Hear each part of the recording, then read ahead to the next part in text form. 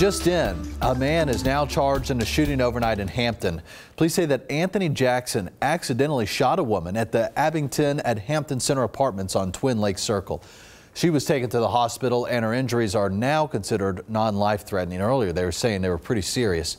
Anderson is charged with one count of reckless handling of a firearm and one count of shooting into an occupied dwelling.